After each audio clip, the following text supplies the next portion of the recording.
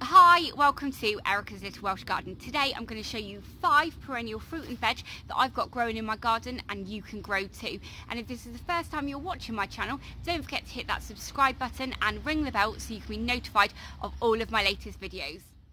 Number one is Jerusalem artichokes. These are such an amazing hardy perennial veg to grow in your garden. Now I would suggest growing these in a pot because if you have any little bit of the Jerusalem artichoke left behind, that will sprout a new plant and you can suddenly become overrun. So I grow mine in a pot and it's so easy. All you need to do is just when you're harvesting them, leave a couple behind. It's probably best to leave your nicest ones behind so that hopefully you will continue to produce nice ones.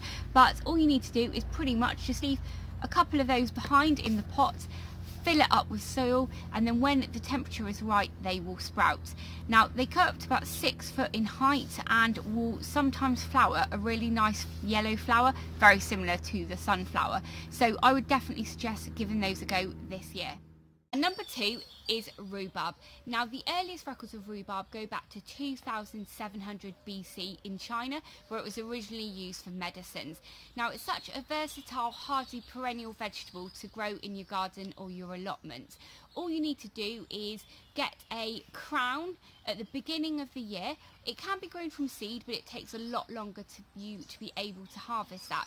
But what you need to do is you get a crown which is part of the roots and plant that early in the year and unfortunately it's really not a good idea to actually harvest that in the first year because it sends out these lovely big stalks with lovely green big um, leaves on there and those leaves are its food factory and it's really important that you let as many of those leaves kind of make as much energy for that plant and put that into the roots so that it can be really strong and healthy. So yeah, in the first year, really not a good idea to harvest it, but wait a couple of years and you should have a really lovely rhubarb plant that's producing lots of lovely stalks for you to eat.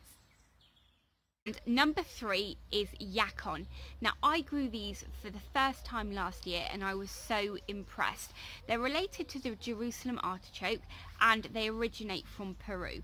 Now these are the um, tubers that the plant creates as its food storage but unlike the Jerusalem artichokes you can't actually um, propagate from these so you can eat all of these and then what you need to do is dig up the actual rhizomes and store them in a frost-free environment over winter.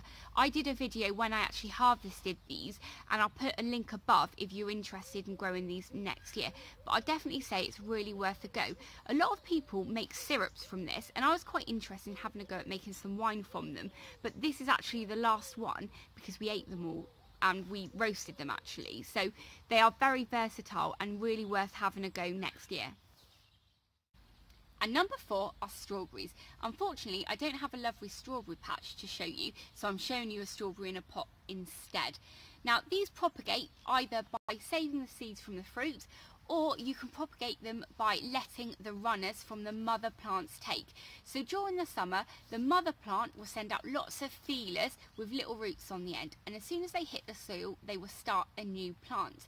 But you don't want your mother plants to do that in their first, second or third year because you want them to spend all of their energy making lots of strawberries for you after about three years they still produce strawberries but they're smaller and you know there's quite a lot less of them. So what you need to do is in the third year you let as many of the runners come out as possible and let them root. So they will be your new mother plants for the next three years. And every 10 years you need to completely get rid of all of your strawberry plants and move the location of your strawberry bed in your garden or your allotment.